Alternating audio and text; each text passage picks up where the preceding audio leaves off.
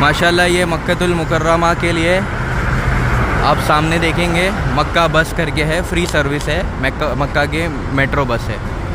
और ये हमारा बस स्टॉप है मस्जिद अल जिन का, जिन मॉस्क लिखा हुआ है। इसके अंदर आपको सारी डिटेल मिलेगी कि बस अभी जो है चार मिनट में आने वाली है और ये आपको मरवा तक छोड़ेगी।